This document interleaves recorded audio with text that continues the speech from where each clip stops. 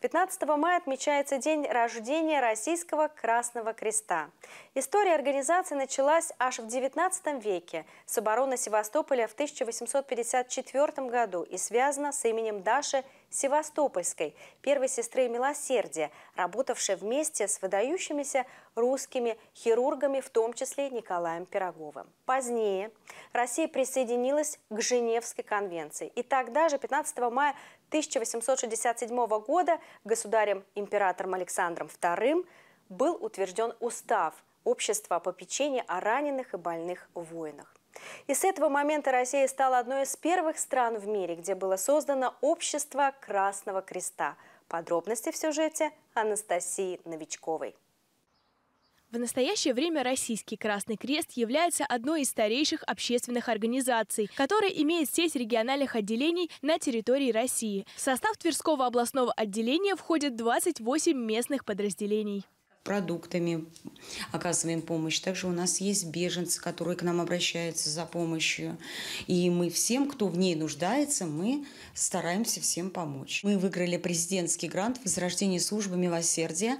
А, значит, в этот грант входит оказание обслуживания одиноких больных на дому. Это у нас Андреаполь, Бежецк, город Тверь. У нас также средства реабилитации выдаются всем нуждающимся э, в Оржеве, в Бежецке, Иркутске, в Твери, в Кимрах. Люди под опекой у нас находятся на протяжении всего времени. Сотрудниками и волонтерами Красного Креста ежедневно проводится работа по оказанию помощи нуждающимся жителям региона. И вряд ли наступит тот день, когда их помощь перестанет быть нужна. В день рождения Российского Красного Креста мы решили спросить у тверичан, что они знают о деятельности этой организации. Благотворительность очень нужна, чтобы людям помогать нуждающимся. Несомненно, организация «Красный крест» важна, потому что благотворительные вещи для нуждающихся и, ну, например, беженцев э, действительно нужны и важны. Они э, обеспечивали, как я помню, оборудованием медицинским, э, медикаментами. На самом деле сейчас довольно много напыщенной волонтерской деятельности, на которую люди идут ради каких-то бонусов. Это помощь на добровольной основе, я считаю, это ну, хорошо. Ну, помощь всем нуждающимся – это, в общем, благородное и нужное дело. Красный крест – это хорошая организация. Они делают добрые дела.